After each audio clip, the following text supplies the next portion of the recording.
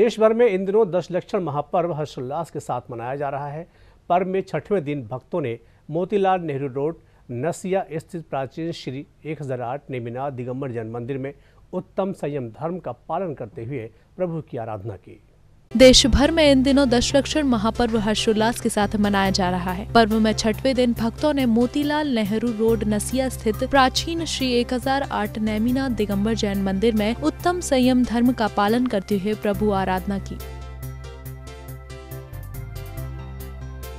दशरक्षण महापर्व में छठवें दिन प्राचीन श्री 1008 नैमीना दिगंबर जैन मंदिर में प्रभु का अभिषेक करने पहुँचे आगरा दिगंबर जैन परिषद के उपाध्यक्ष राजेंद्र कुमार जैन ने कहा कि धूप दशमी के अवसर पर मंदिरों में भक्त प्रभु की आराधना कर अपना जीवन धन्य कर रहे हैं। देखिए दशलक्षण धर्म जो आता है, वो जैन धर्म में दसों जो मनुष्य के जीवन में सबसे बड़ी जो उपलब्धि होती है, वो इन दसों धर्मों को पालने से ही होती है। अन्यथा नहीं।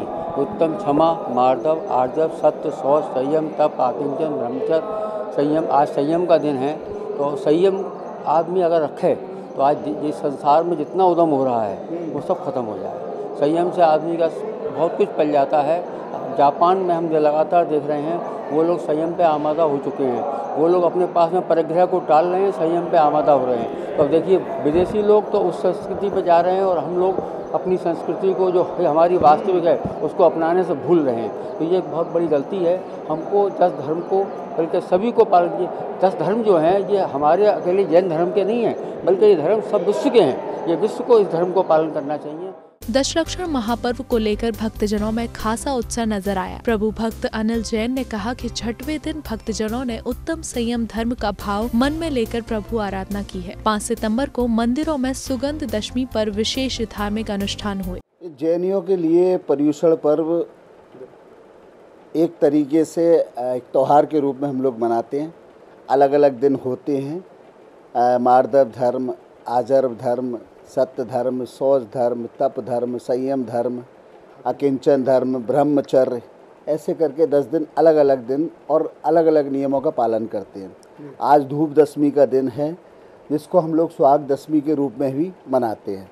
क्योंकि हमारे यहाँ ये करवा चौथ वगैरह कुछ नहीं आज सुहाग दशमी जो होती है आज जितनी भी सुहागन है अपनी पति की दीर्घायु के लिए वो अपना व्रत रखती है पूजा पाठ करती है।